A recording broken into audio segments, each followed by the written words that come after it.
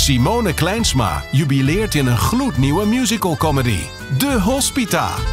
Madeleine Coutard is een grote voormalige revuester en comedienne met vlijmscherpe humor. Die aan het einde van haar carrière samenwoont met haar kostuumontwerper en beste vriend. Gespeeld door Paul Groot. Tegenwoordig moet ze uit geldnood kamers verhuren aan theaterstudenten. Zij zetten het hele huis en Madeleine's leven op zijn kop. En dan dreigt tot overmaat van ramp ook nog haar grote geheim onthuld te worden.